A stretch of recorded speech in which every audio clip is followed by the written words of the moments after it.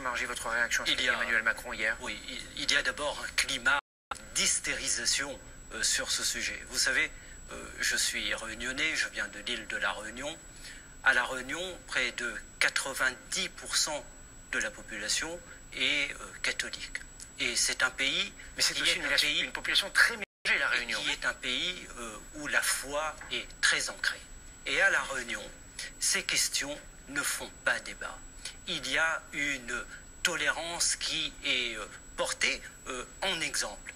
Et lorsque vous êtes réunionnais et que vous êtes en Europe, vous vous dites mais qu'est-ce qui se passe dans la tête des gens? Et il y a un travail de déconstruction à faire dans la tête des Européens. Parce que j'ai pitié en réalité pour toutes celles et tous ceux qui ont peur euh, des autres. La loi, elle est très claire et le président de la République a rappelé la loi.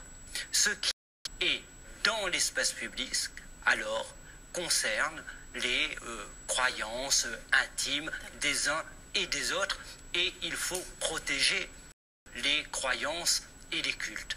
En revanche, pour ce qui est des euh, services publics, là encore, la loi Je est vous propose, on va écouter le Premier ministre Édouard Philippe en train de s'exprimer. ostentatoires.